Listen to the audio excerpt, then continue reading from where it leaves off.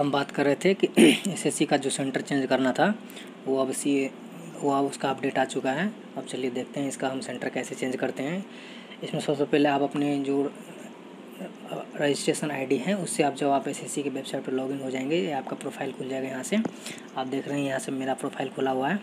यहाँ पे सबसे पहले दिया हुआ है latest notification application history modified registration result mark ये सब दिया हुआ है। यहाँ पे एक नया ऑप्शन नीचे आ चुका है, जो कि मॉडिफाइड एग्जामिनेशन सेंटर प्रेफरेंस अब हम इस जो नया जो आया हुआ है मॉडिफाइड एग्जामिनेशन सेंटर अब इस पर हम क्लिक करते हैं यहाँ से। जब यहाँ से क्लिक करेंगे तो एक नया वेब पेज खुल के आएगा हमारे सामने। यहाँ पे जो यहाँ पे लिखा होगा कि हम सेंटर कैसे चेंज करते हैं। यहाँ पे आपको एग्जामिनेशन सेलेक्ट करना है।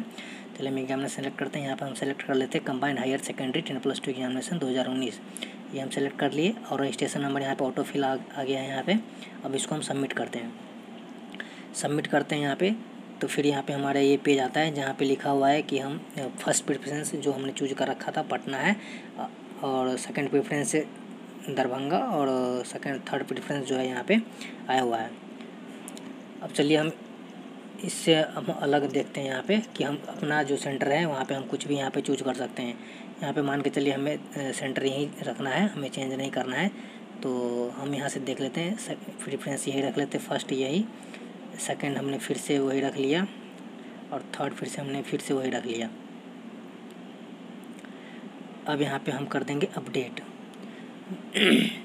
जब ये अपडेट कर देंगे तो यहाँ पे सक्सेसफुली का मैसेज आ जाएगा you have already submitted to receive preference for this examination you are not allowed to receive if again यहाँ पे मेरा एग्जामिनेशन सेंटर चेंज कर लेते हैं। चलिए अब यहाँ से हम चेक कर लेते हैं।